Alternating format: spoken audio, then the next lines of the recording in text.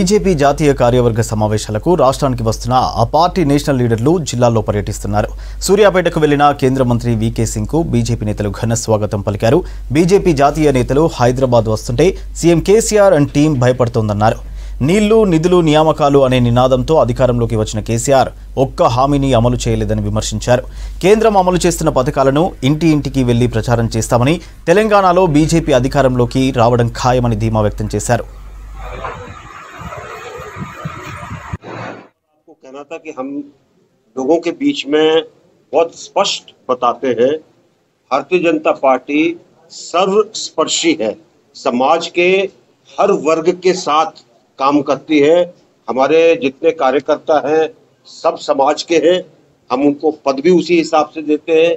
हमारी योजनाएँ सब सर्वस्पर्शी है। बिना भेदभाव के, हमारे यहाँ किसी चीज़ का कोई भेदभाव नहीं है। बहुत से लोग हमारे बारे में उल्टा सीधा बोलते हैं लेकिन हमारा कोई भी आप, आप योजना केंद्र का उठाकर आप देखेंगे किसी भी योजना के अंदर आपको भेदभाव नहीं मिलेगा।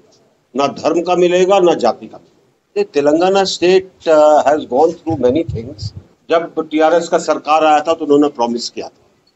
लेकिन अगर आप उसका पूरा विश्लेषण करेंगे तो आप देखेंगे कहीं ना कहीं उसके अंदर बहुत कमी है। और इसलिए हम अपने पार्टी के कार्यकर्ताओं के साथ बातचीत करने आए हैं। कि कैसे हम जनता का पूरा विश्लेषण करेंगे तो आप देखेंगे कहीं ना कहीं उसके अंदर बहुत कमी है।